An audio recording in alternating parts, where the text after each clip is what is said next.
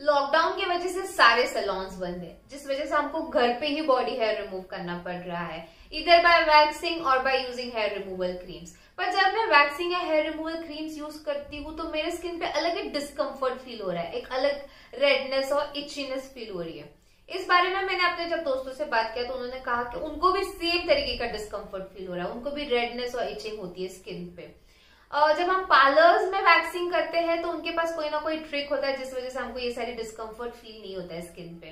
But अब तो parlours बंद है सैलॉन्स बंद है बिकॉज़ ऑफ़ लॉकडाउन तो मैंने सोचा, यार, इस चीज़ के लिए कोई ना कोई परमानेंट सोल्यूशन होना चाहिए. तो मैंने ढूंढ निकाला है एक permanent solution which is nude after hair removal lotion it help me a lot सारी स्किन के डिस्कम्फर्ट रेडनेस इचीनेस सबसे छुटकारा मिल गया है मुझे और मेरी स्किन अभी और भी ज़्यादा सॉफ्ट अमेजिंग असम हो चुकी है। It gives relief from all harsh effects of hair removal इसको आपको कैसे यूज़ करना है? आफ्टर यूजिंग हेयर रिमूवर्स और वैक्सिंग इसको आपको अपने स्किन पे अप्लाई करना है। That's it it will restore the skin pH balance right away और स्किन को डीपली मॉइस्चराइज करता है।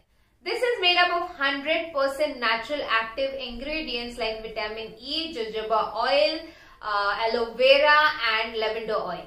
I have used it and I have loved it. You guys should definitely try it for sure. It is available on www.new.co.in, Amazon, Flipkart and Nykaa. Links मैंने description में mention किए. Do visit